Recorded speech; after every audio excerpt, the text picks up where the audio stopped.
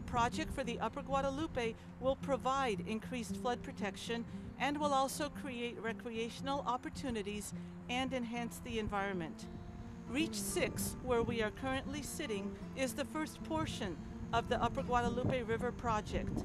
This project extends about 2,500 feet and will take us from Interstate 280 up to the Union Pacific Railroad crossing, which is just downstream of Willow Street. This is an excellent example of how our agencies can work together to provide projects and services to the community. I want to say, you know, thank our board for all the all the work that, that they've done, and uh, once again, you know, thank all of our staff.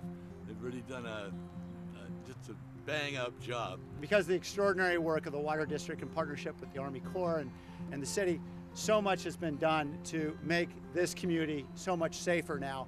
Because we know that the, the high waters will return, but uh, because of this great work, we'll all be safer for it. This event truly is meant to recognize the support and the patience of the residents in this area. Without you, we wouldn't be able to commence on this project that will provide an increased level of protection to your neighborhoods and businesses from the devastating effects of flooding.